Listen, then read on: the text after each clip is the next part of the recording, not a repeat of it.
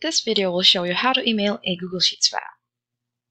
Once you're in your Google Sheets file, hover your mouse cursor to the upper left part of the screen and click File.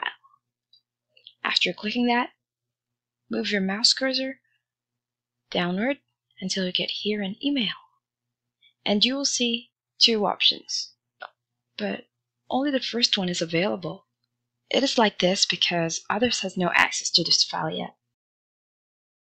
So click the available option, which is email this file. So I'm going to click this available option, which is email this file.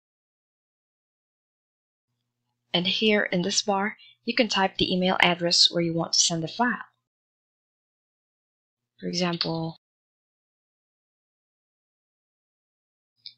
and over here you can write a message You can also change the file type by clicking this, but as for me, I prefer to send this as a PDF format. After customizing this, just click Send. And that's how you email a Google Sheets file. I hope this video helped you, and if it did, make sure to hit the thumbs up button and don't forget to subscribe to your YouTube channel for more bite-sized tutorials like this. Thank you for watching.